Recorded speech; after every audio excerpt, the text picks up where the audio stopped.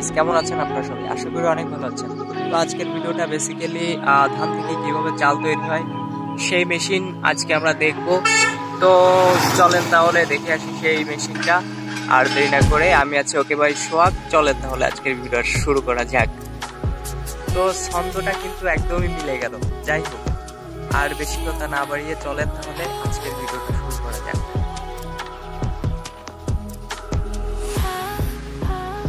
তো এটা কিন্তু সেই কাঙ্ক্ষিত মেশিন আপনারা দেখতেই পারতেছেন। তো অলরেডি কিন্তু ধান মেশিনটার ভিতরে দেওয়া হয়ে গেছে। তো ধান থেকেই কিন্তু অলরেডি ওই সাইড থেকে চাল বের হচ্ছে। দেখতে পড়তেছেন বস্তার ভিতরে পড়তেছে আমাদের আঙ্কেল তো দেখতেই থাকেন, সাথেই থাকেন।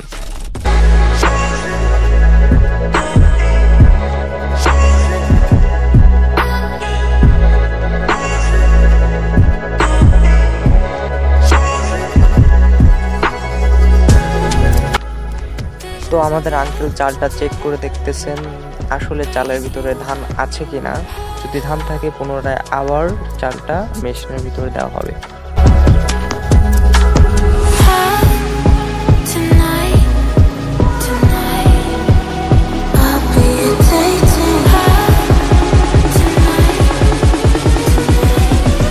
চালটা দেখিনি চালটা তো অসাধারণ হয়েছে। একটাও ধান নেই কিন্তু, দেখতে পড়তেছেন তো একটাও ধান নেই কিন্তু। ঠিক আছে? আসলে এরপরে আমরা ধানটার সাথে চালটা কম্পেয়ার করে দেখব। আসলে চাল কিন্তু অনেক সুন্দর হয়েছে, অনেক সুন্দর। তো এখানে ধানটা ঢেলে এখান থেকে চাল বের হচ্ছে। ভাবতেই অবাক লাগে আসলে আমাদের প্রযুক্তি কত দূরে এগিয়ে গেছে। তো যাই হোক বস্তা কিন্তু একের পর একটা ভরতেছে।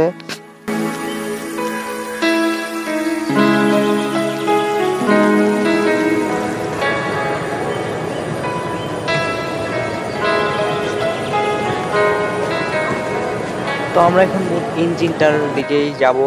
তো মূল ইঞ্জিনটা কিন্তু অনেক বড় অনেক বড়। তো ভিডিওটার সাথেই থাকেন, আরও অনেক ইন্টারেস্টিং কিছু দেখানোর বাকি আছে। সাথেই থাকেন।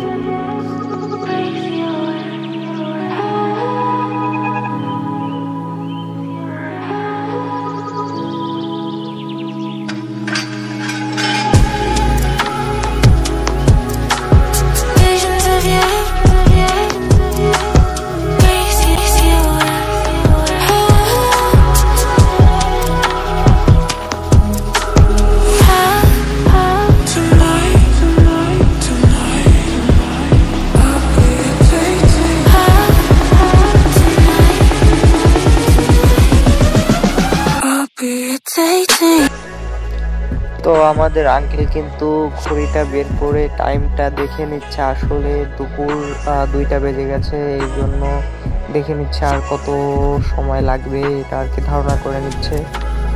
আসলে অনেক বয়স হয়ে গেছে তো, তারপরেও কিন্তু মেশিনটা অনেক সুন্দর মতনই চালাচ্ছে।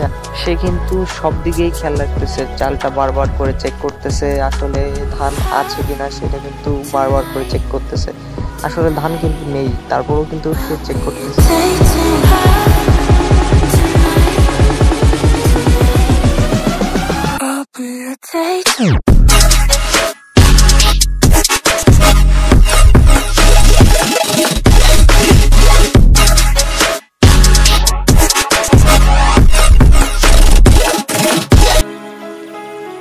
মেশিনের তো প্রায় সব সাইডই দেখানো হয়ে গেছে মেইন সাইডটাই দেখানো হয়নি। আসলে ধান থেকে যে কোড়াটা বের হয়, সেটা এইখান থেকেই বের হয় মেশিনের অপোজিট সাইড থেকে।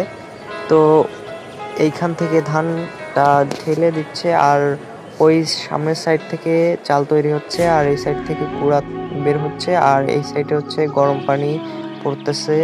তো নলটা হচ্ছে এই জায়গাতে ঘুরে সরি এই জায়গাতে ঘুরে ওই ট্যাঙ্কি থেকে আবার পুনরায় এই ট্যাঙ্কিতে আসতেছে কিন্তু।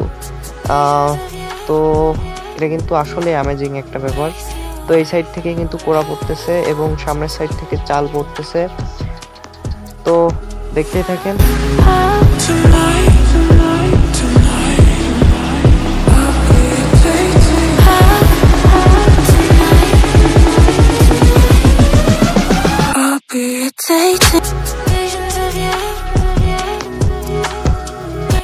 ফাইনালি আমরা ভিডিও শেষ পর্যায়ে চলে আসলাম।